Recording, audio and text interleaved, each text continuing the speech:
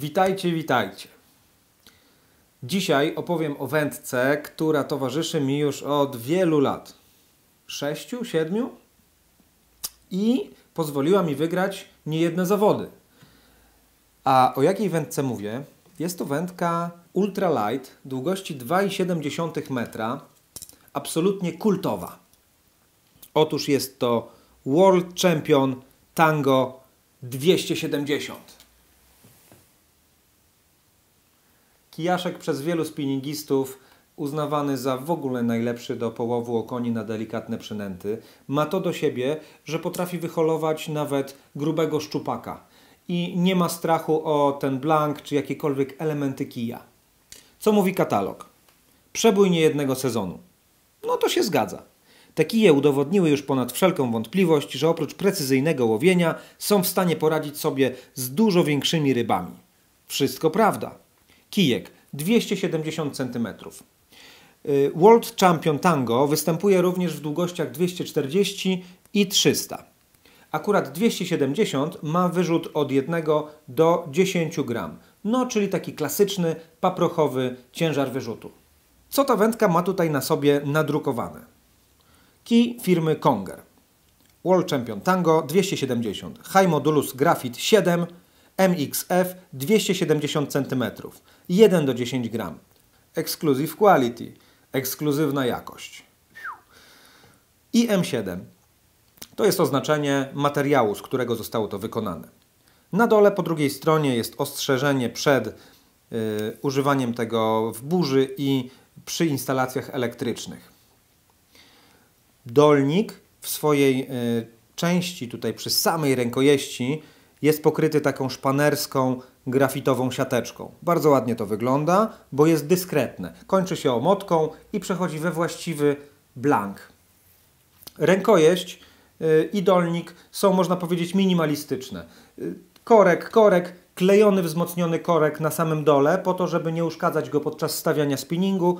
Zwyczajny, dość nowoczesny i bardzo mocny uchwyt do kołowrotka. Wiem to, bo naprawdę używam tego już parę lat. No i to, co bardzo lubię, czyli mocowanie do przynęty. No, tego nie ma w niektórych kijach, nie wiem dlaczego, a tutaj jest. No przelotki w tym kiju są dosyć specyficzne. Trochę takie jak w odległościówce, ponieważ są na bardzo długich stopkach.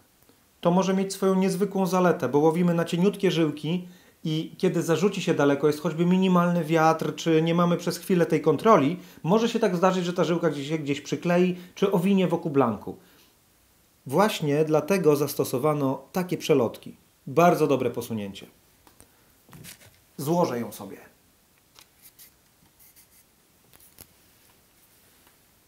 No, leciutki. To można trzymać dwoma palcami. Zbrojony w raz, dwa, trzy, cztery, pięć, sześć, siedem, osiem, dziewięć przelotek, czyli można powiedzieć, że dosyć gęsto, a więc fajnie. Założę sobie do niego kołowrotek wielkości 1500. Ten kołowrotek wyważa idealnie wędkę. Pomimo długości 2,7 metra i bardzo krótkiej jednak y, rękojeści, to jest idealne wyważenie. Zresztą zobaczcie, jak y, ta wędka sprawuje się nad wodą. Siedzi! Siedzi! No i teraz widać, jak ten kongerek pracuje pięknie. Cała góra oddaje, środek pracuje, a dolnik nie przeszkadza, bo jest króciutki. I w tym momencie, jeżeli ten okoń mi mocniej rąbnie, hamulec nie odpuści, to ja tylko robię tak, takie bujnięcie i mi się wychyla rękojeść. Czyli mam dodatkową amortyzację. Chodź tu kolego. O, ładny. Ładny garbik.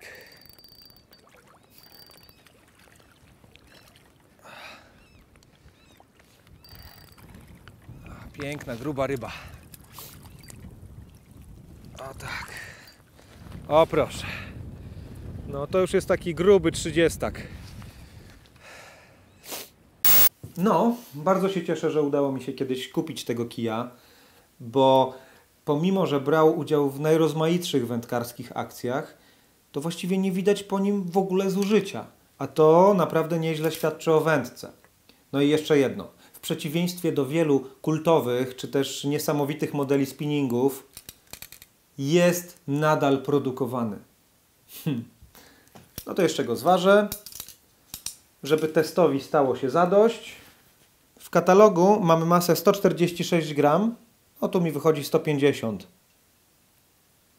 Ale to może być granica błędu wynikająca z profesjonalizmu tej oto kuchennej wagi, która jednak powinna ważyć mąkę i kaszę. No, warto mieć y, czasami taki sprzęt, który y, przez lata będzie nam służył i y, nie trzeba będzie brać ze sobą zapasowej wędki. I to jest właśnie Conger World Champion Tango. Do zobaczenia.